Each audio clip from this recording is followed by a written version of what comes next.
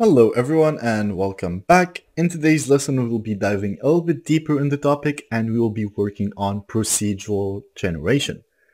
And do not worry, we will go through this step by step so it will not be confusing at all. Now, we still have the errors that we keep getting from our tile map and we need to fix that. So all you need to do is select your tile map layer, go to tile set and Next to this exclamation mark, click on the three dots and click on remove tiles outside the texture. If you do not have this, if the exclamation mark did not pop up or like the remove tiles outside the texture button is disabled and you still like have all of the errors, then it is a bug with Godot for some reasons. You need to restart the engine and then it will work. So yeah, now that we're done with that, we can jump into our generation. Now, the way we want to handle the generation is I want to have a node in the world scene that will handle everything when it comes to spawning the rooms, uh, creating the map itself, handling the minimap, everything. So what I want to do is we're going to add a node, not a node 2D, just node, and we're going to call this generation. Gen generation. Sorry about that. And let's gonna let's give it a script. We're gonna save the script in the scripts folder as always. And let's hit create. Now, we're gonna start with some simple variables. And these variables are going to be the var map height or map width and it is going to be an integer and let's set it by default to 7 this is gonna be how wide is our map and we're gonna do 7 so map height and we're basically gonna do the same thing because I want it to be symmetrical so we're gonna do 7 by 7 we're gonna make a variable for rooms to generate. And let's set this to default 12 so we want 12 rooms per level. Now you want a variable called room count. It is going to be integer and it is zero. And this count will only go up when we do actually spawn rooms. So we're going to do var rooms instantiated. And this is also going to be an int. We won't set it up to anything yet until we actually start instantiating rooms later on in the script. We also want the position of the first room, so we're gonna save it right here. I'm gonna do first room pause, and we're gonna save it in a vector2 variable. Now, we want a var called map, and this is basically gonna be an array. We also want a variable, and another array that will hold all of the instances or the nodes of the rooms that we did spawn. So we're going to do room nodes. And we're going to do array. Now, in our game, we want enemies to spawn in the room, as well as coins and hearts. Hearts are the stuff that you use to heal. So, we're gonna create something called spawn chance here. So we're gonna do export var enemy spawn chance and it is going to be a float.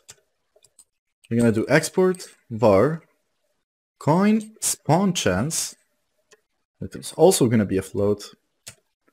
And export var heart spawn chance also a float.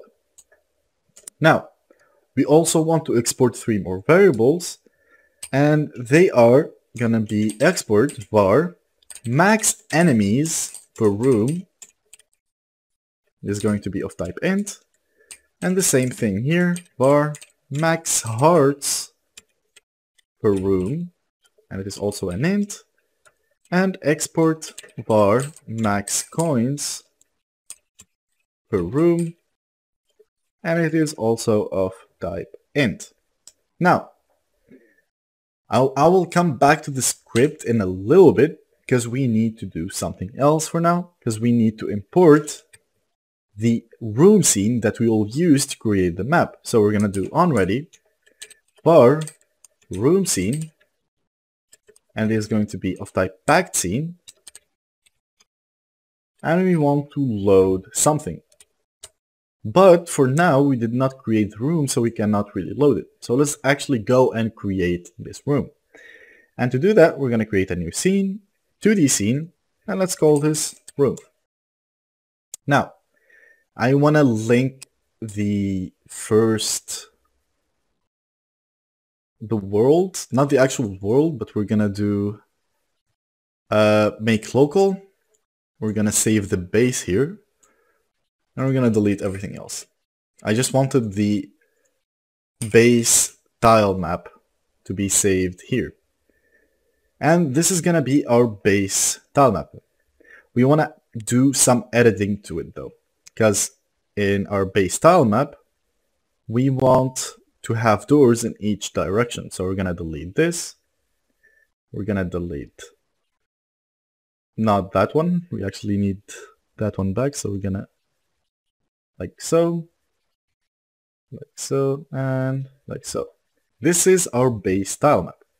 Now we want to duplicate it and we want to create a pathway over here and delete everything else.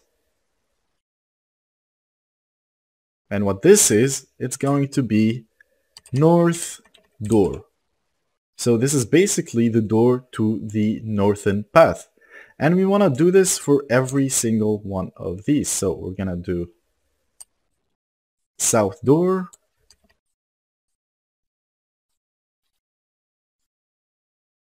And we want, oh, sorry, forgot to duplicate it. And we forgot to delete these as well, because you need each one to just have like one door. So this is western door. West door. We're gonna duplicate it.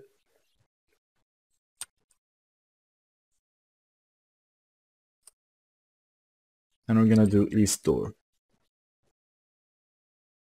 And why we did that, as you can see, if we hide, let's actually bring our base again. Let's select our base. This is what we see if we deselect everything, right? But if I remove the east door, we only have three pathways. If I remove the west door, like so, and it's still missing one more thing, and that is the walls. So we're gonna duplicate, we're gonna duplicate the base again, we're gonna select this and do like so. Let's remove everything else though. And that is basically gonna be called west wall. Want to duplicate the west wall. And we want an east wall. Remove this.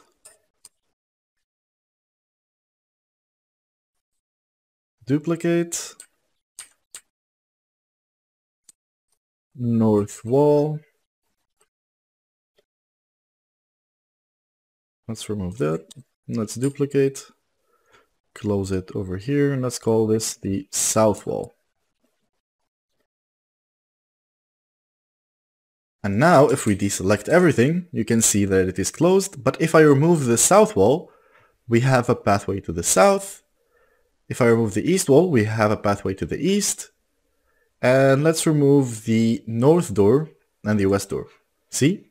Now it looks more like a map. And we're basically going to utilize this technique to create a bunch of rooms that are interconnected with each other. And that way we can generate our own map. So yeah, this is going to be it. And we will do... Next time we will actually start working on the generation code, but let's, let's actually save this scene. Let's save it in the scenes folder. Or actually, no, let's actually make a new folder. Call it nodes. And let's save it in the nodes folder. So yeah. Hello everyone and welcome back. Now that we created a room node, we can now reference the room, the room node, sorry. We can reference the room node over here in the load function. We can go to nodes, room, and drag and drop it over here. It comes with the extra thingies here, so we gotta remove them. And we're gonna remove this one. Perfect. Now that we have it loaded, we can keep on going with the generation. So let's actually create a func ready, which will set up our map array. So func ready, it is a void. And in here, we want to do for i in range map width. And we also do, gonna do for g in range. Map oh I did two points here. My bad. Map height. And in here I want to do map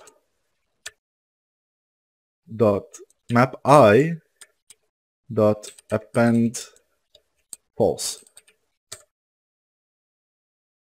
I forgot to actually append to make here. So we're going to do map append. We're going to do parentheses. So this is basically going to turn our array into a 2D array.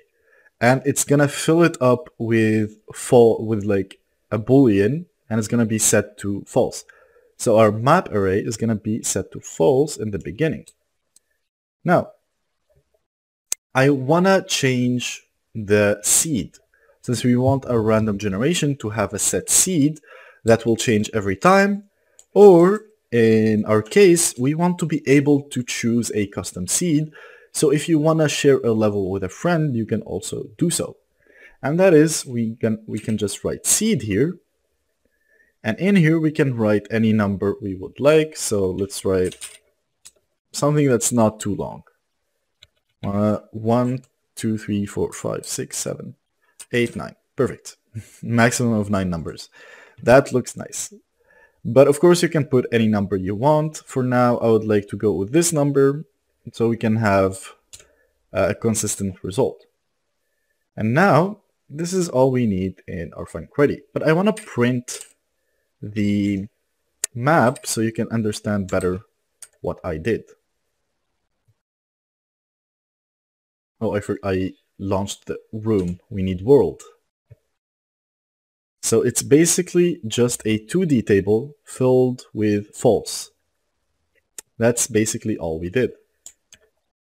And you'll understand why we did that in a second, because this array is basically what's gonna shape our map. Now, we're gonna create a function called generate. So it is going to be a void and we want to use it to generate stuff. But before that, we also need another function called check room. And in here, we want to give it some parameters. We want to give it an x, which is going to be an, an int, a y, which is also an int, remaining, as in remaining rooms that we set up. It is the same variable as rooms to generate. So it's basically this variable, but then it's decreasing every single time we actually generate a room. So remaining is also an int. And we also need general direction. So we're going to do general direction.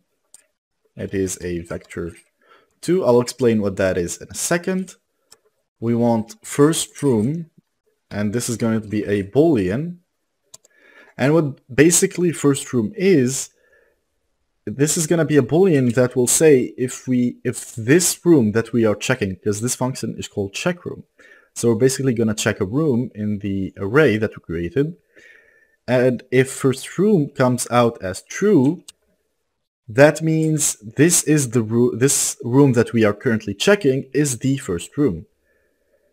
We set first room by default to false, so if we do not actually send a parameter at the end, a boolean, that means it will automatically be false. That means it is not the first room. And that's basically all we need. Let's actually set it up to be a void, since this is also a void. And let's do, let's come back here. Let's actually remove this.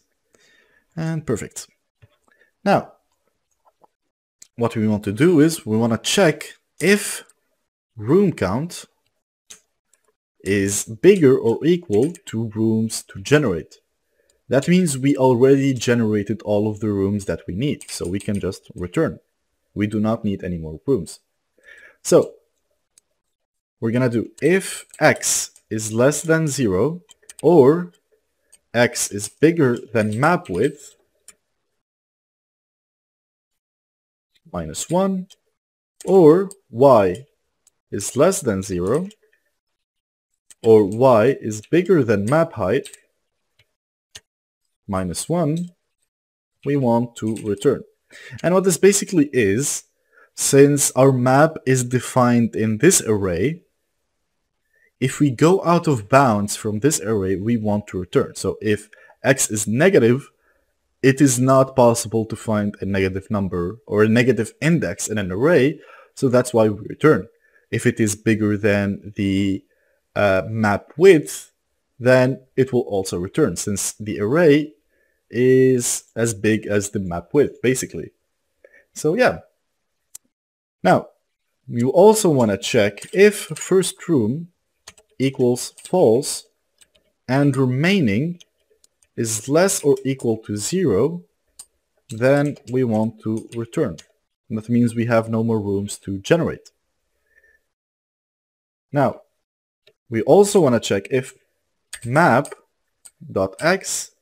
and y equals to false, or actually true, we want to return. That means this room has already been created. And if you do not know, since this is an array that's filled with false statements, since like this array, entire array is full of booleans that are set to false by default, if a room is equal to true, that means that we want to generate that room. So it will be more uh, understandable as we go on. But for now, if the position of xy in map is true, that means there is a room. If it is false, that means there is no room, basically. And here, if it is already set to true, that means the room already exists, so we don't need to do anything, that's why we return. If it is the first room, so if first room is true, then I want to set the first room position to be this x and y. Now, room count, we want to add the room count. If none of these functions are true, we want to do room count plus 1. That means we're going to spawn a new room. And we want to do map dot x and y equals true. We want to set it up as true. Perfect.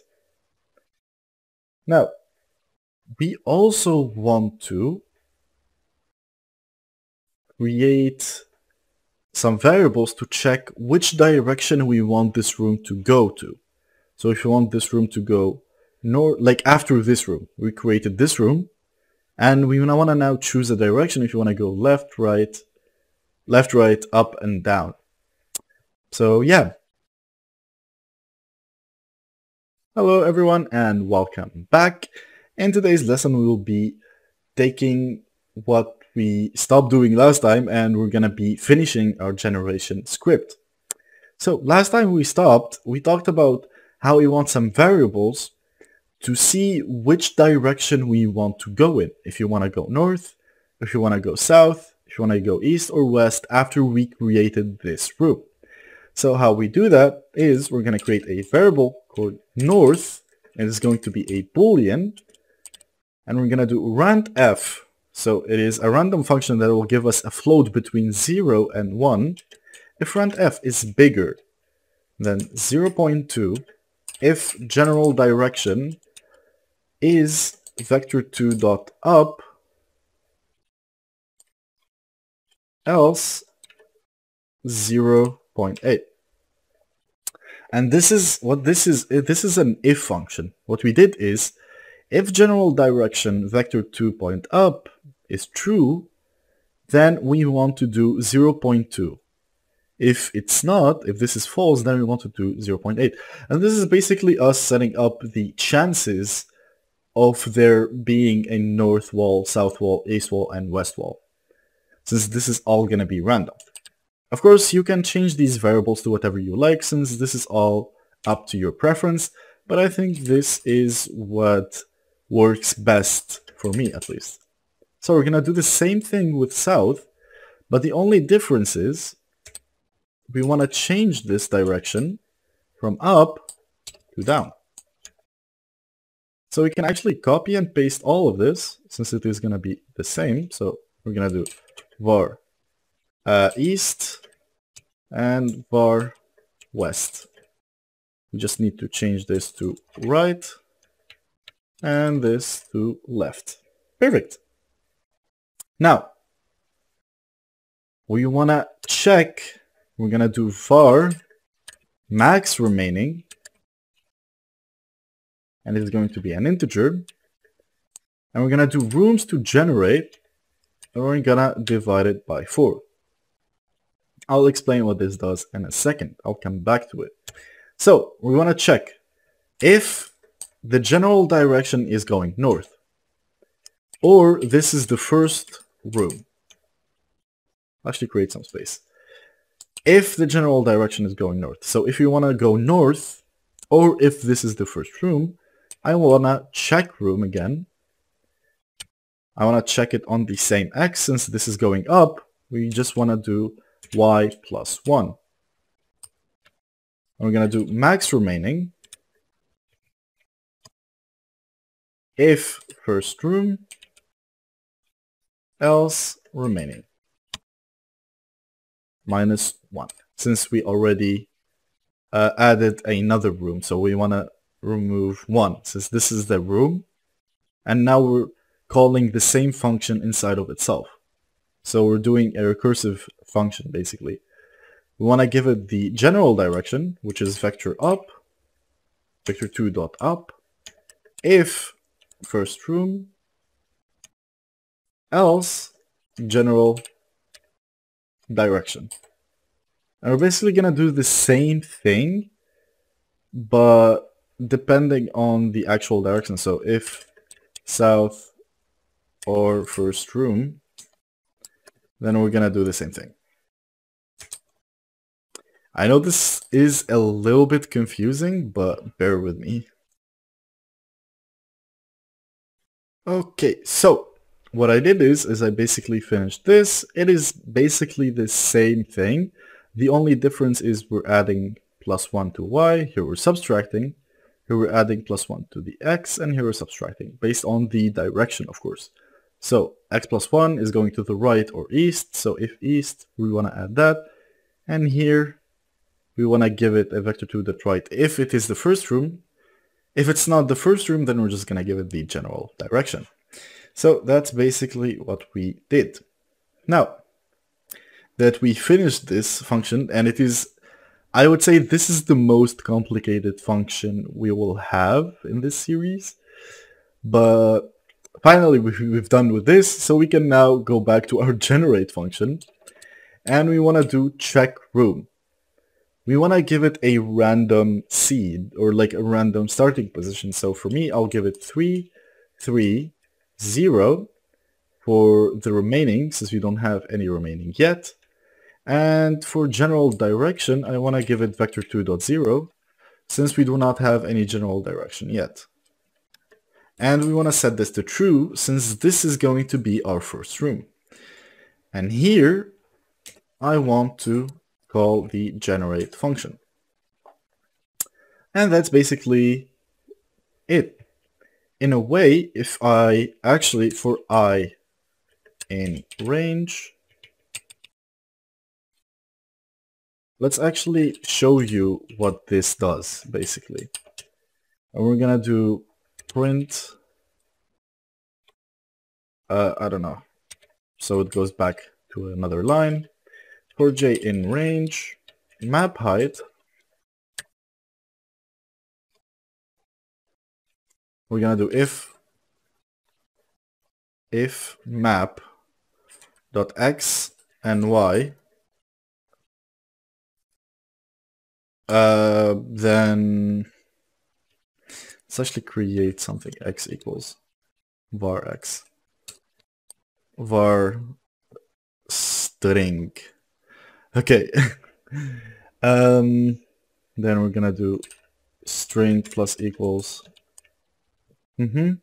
And here, if it is true, we can just do this. If it is true, I want to add to string plus plus equals.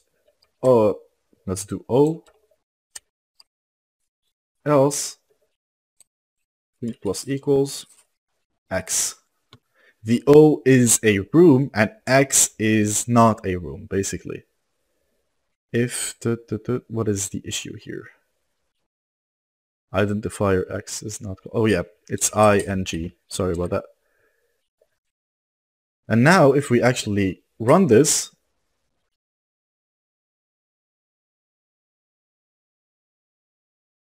uh, okay, nothing actually happened for some reason. Oh yeah, we did not print the... we forgot to print it. So we're gonna do string. So what this basically does is, as you can see, we have a path generated. We have three rooms here and a couple of rooms here. So this is gonna be our map. The X's are, are not rooms. The X's are just gonna be empty space. But the O's are gonna be rooms that we generate. Each O is gonna be one room and these all of these are going to be connected to each other through the pathways that we talked about earlier. And yeah. So yeah, that's basically it. That's what happens with the actual generation.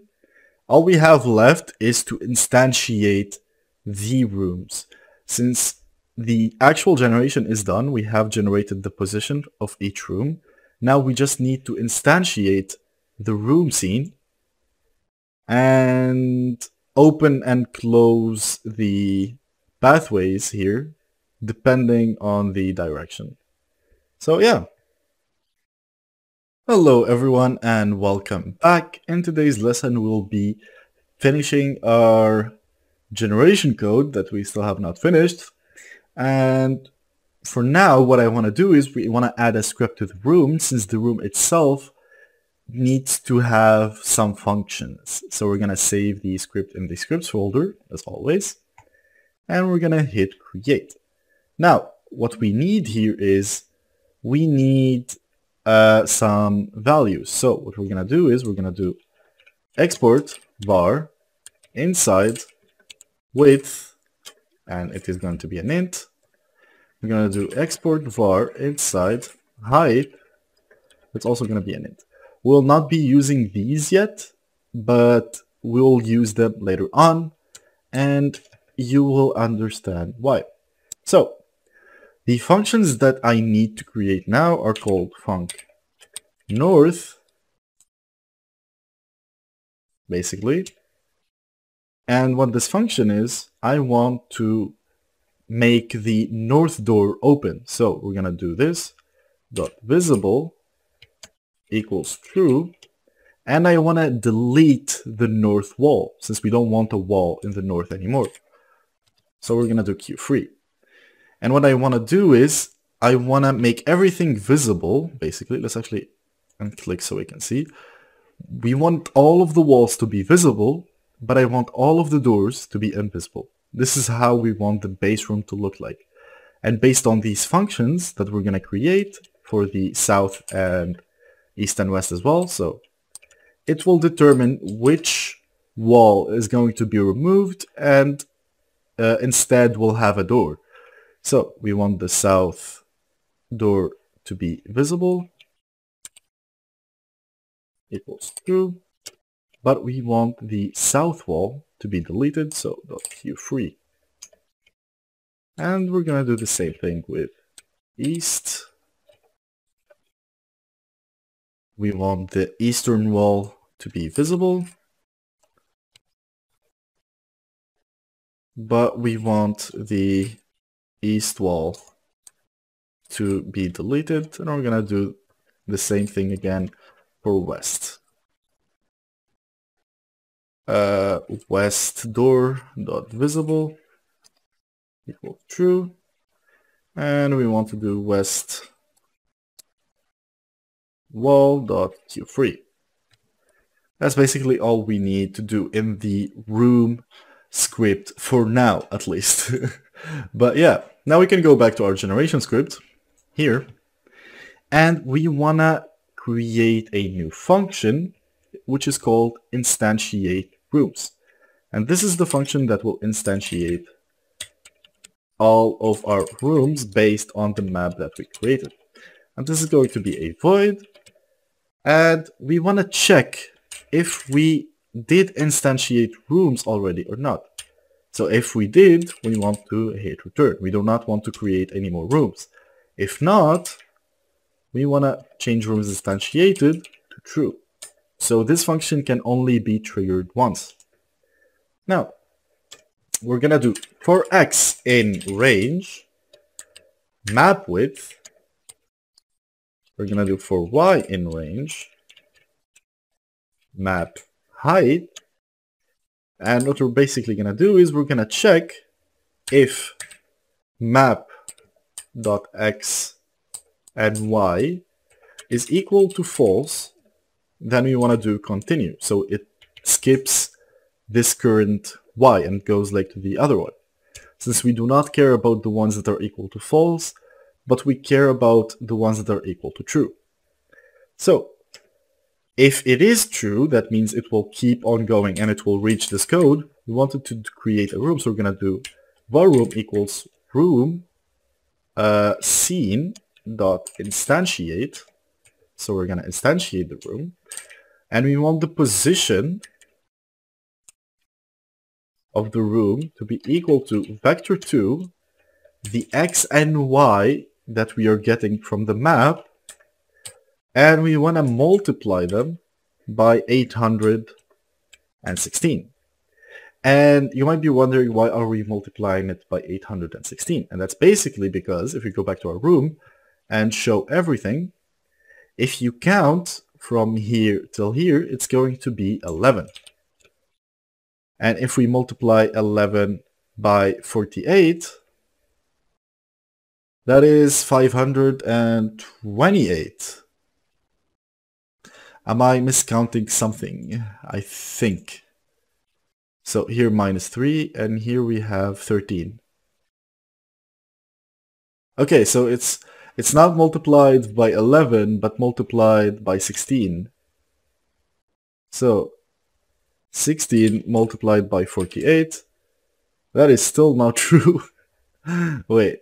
So we have 1, 2, 3, 4, 5, 6, 7, 8, 9, 10, 11, 12, 13, 14, 15, 16, 17. Multiplied by 17. I am sorry, but my mathematical skills are failing me. So we're going to do 17 multiplied by 48, and it is 816. Uh, that is why we are changing our position to 816 or at least multiplying it by 816 since the x and y are gonna be either they're gonna be a they're gonna be a number between 1 and 7 since we set up the max width to be 7 here so after we do that we want to check if y is bigger than 0 and map x and y minus 1. So we're going to check the one under it, or on top of it at least. So we're going to check the one on top of it. If the room on top of it is true, that means there is a room on top of the one that we just created, then we want a room to open a pathway to the north. And we're basically going to do the same exact thing. So let's actually push this down. We want to do that for south, for east, and for west. So uh, we want to change this instead to be map height, so it is less than map height, and plus 1 is equal to true, then we want south. And here, we just want to change this from y to x, and we want to check if x is bigger than 0 and map x minus 1 y then we want to do west if x is less than map width and map x plus 1 y is equal to true, then I want to do east. And this is basically us setting up our doors. Now, we want to check if it is the first room. So we're going to do if first room pause is a vector 2. We're going to give it the x and y. So we're checking if the room that we have right now is the first room. Then we want to do room dot generation equals self. And we forgot to actually add this variable. So we want something called var generation. And let's keep it empty for now. But so we're going to do var room.generation.self. And yeah, that's basically it to set up everything. So wait, we can actually just do this. So we're gonna do, so we're gonna call the parent, the biggest parent in the scene. We're gonna do call deferred. We're gonna do add child, and we're gonna give it the room. So we're gonna do, and then this is what will actually spawn the room in our world. And now we want to add the room that we just spawned into our room nodes array. So we're going to do append room. And that's basically it. That's how we spawn our rooms in the map.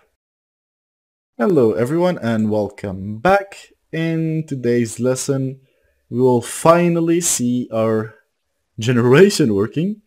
We finished the instantiate room function in the last lesson, or at least almost finished it, because we still need to add a new function. So we're to do func calculate key and exit.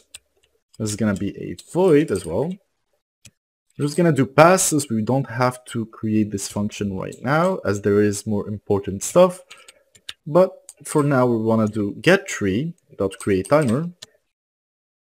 So we want this to happen after a second after we actually generated the rooms. We want to calculate the key and exit. So now we can actually call our instantiate room function and we're going to do it after the generate. So after the generate function, or actually after the check room function, it, we can actually remove all of this. So after the check room function, I want to instantiate rooms. So let's actually test this out if we have any errors. And we currently do not have any errors. But we do not see any of the rooms. And that's because they are not, they did not spawn next to us. We need to move the player so he is a bit closer. So we're just gonna reference the player like so. Global position equals first room position. We're gonna multiply it by 816 like we did last time. Plus, we want it to be in the center of the room. So we're gonna do vector 2 262 and 262. Now, if we start this, we are inside of our level and you can see it looks nice. We have an issue with this one though, for some reasons. And that's because we forgot to hide the doors that we were supposed to. Because we, we showed them last time for some reasons, but now as you can see, it is the same map since we did not change the seed. But yeah, we have a procedurally generated map and it looks nice and neat. Finally.